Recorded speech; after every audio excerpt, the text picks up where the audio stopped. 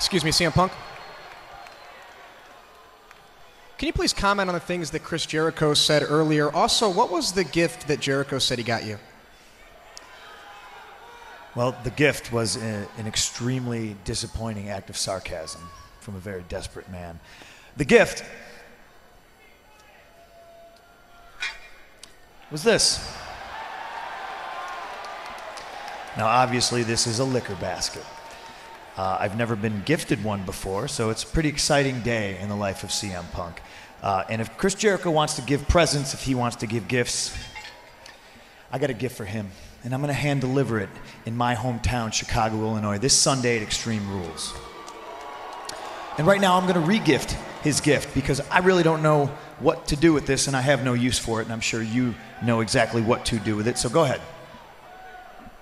Happy birthday. Joyous Kwanzaa. Knock yourself out. Have a good time. And get out. Hey, Chris. Look, I, uh, I know this is none of my business or anything, but I just want to let you know that Punk just kicked me out of the locker room. Because I caught him drinking a bottle of booze out of the gift basket that you gave him. You saw Punk drinking? I saw him drinking out of the gift basket that you gave him. Seriously? Dead serious.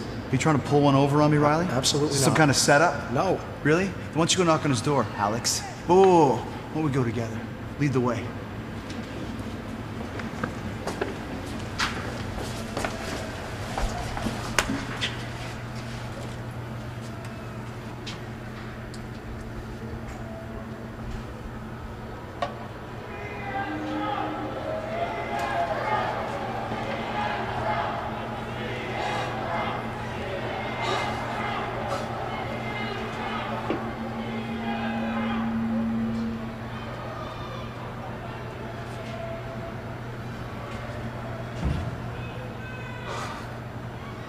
I know it sounds crazy, but I saw it with my own two eyes. CM Punk is drinking. And as a result, you need to strip him of the World Championship. Chris, I'm not sure I can do that.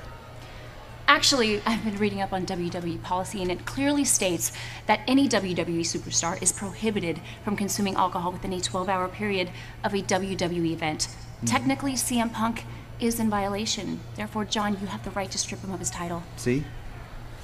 She's right. To avoid any potential legal action on CM Punk's part, gotta make sure there's a credible proof that he's in violation of the policy. I have an idea. There's police officers all over the place. Why don't you get a couple of the uniformed cops, put them in the ring, and make Punk take a field sobriety test? And when he fails, which he will, because he's been drinking, then you can legally strip him of the championship and hand it over to me. Free and clear. Okay, Chris, we'll do the test. I want to thank you, Mr. Laurinaitis, for doing the right thing. And Eve, you look ravishing. Oh, amazing. Later, Teddy. What's wrong with you, Teddy? Apparently, when Teddy was head of SmackDown, he would look the other way and not obey the rules. Well, that's not John's policy.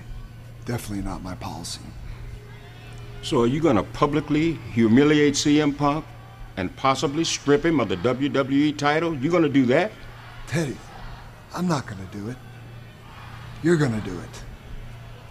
Eve, this good old friend of mine, JR, once taught me when you have bad news to distribute, get somebody else to do it.